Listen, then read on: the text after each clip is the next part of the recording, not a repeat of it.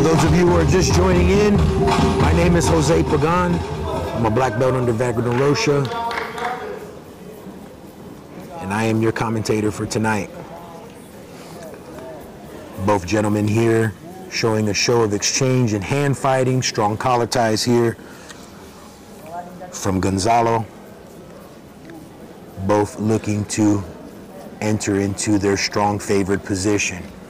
Again, we remind our viewers if you're just tuning in, while we do favor and care for positions, this is a sub only event. So submission is king. The mission is submission.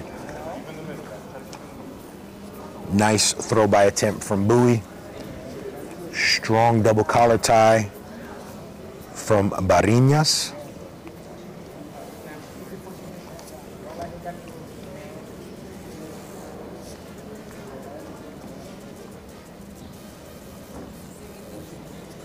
Lot of neck pressure there from Gonzalo Ballinas over Bouie. Bouie setting up an overgrip. Looks to really favor that throw by position. Again, a lot of strong collar ties, very Wagner-esque type collar ties, which would be very reminiscent of that fight sports camp style but Bouie also possessing some very strong wrestling here.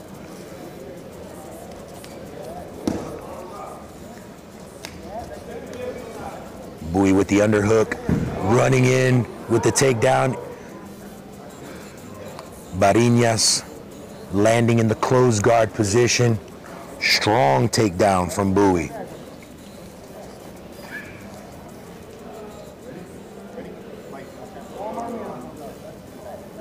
While takedowns do not count here in this competition, it is a pace pushing movement. We are looking for submissions, people. We see a shoulder crunch attempt here from Ballinas from the closed guard.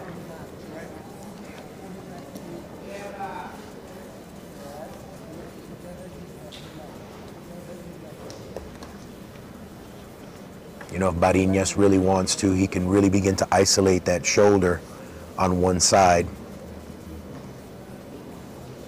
And from that position, there's various types of submissional attacks like arm saddle, urigatami, and so forth. Again, looking to isolate one arm there via either Kimura or shoulder crunch. Bouie looking to open up the guard. The guard is open. Oh, we have a donkey guard attempt here. Oh, into the backside.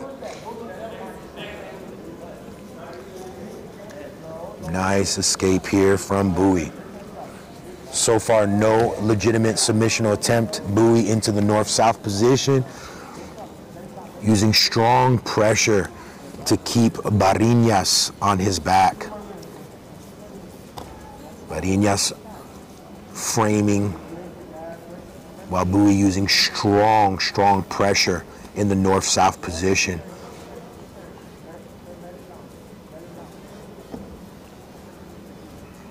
Ballinas needs to really be careful with how high he begins to lift that arm as he can be susceptible for either north-south chokes or Kimura attempts. We have strong arm isolation now into the full mount position here from Bouie. Bouie looking to isolate one side.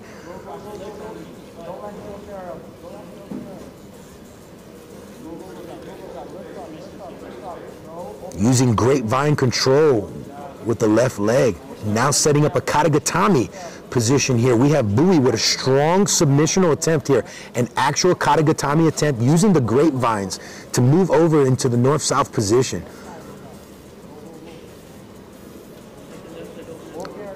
Staying strong in the mount position using, using the grapevines.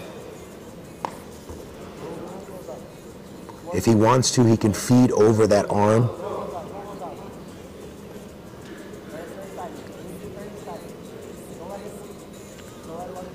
I would say the fundamentals still also do work. There are things like Americanas that are still there. Straight arm bars are there as well. Bouie with really strong control with the grapevine position. The problem with the grapevine position is, is that once you're in that grapevine position, you are also uh, stifling your own movement. You really want to get those legs higher into the armpit so that you have more mobility in being able to attack a submission on your opponent. Looks like he heard me. Now isolating one section, now into the mounted triangle. Ballinas really needs to address this as he is in a fully locked in triangle. This is the second submissional attempt from Bouie. And he has a fully locked in triangle with 30 seconds left on the clock. Can he finish this? He can't isolate the arm from that position and begin to attack the arm bar as well.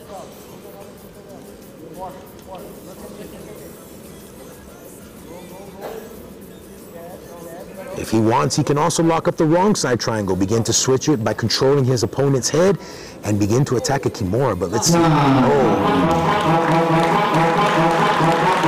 Beautiful submission attempts from Marcus Bouie. I'm not a judge, but if I had to be one, I would definitely have to give that match over to Marcus Bouie as he definitely had more submission attempts here.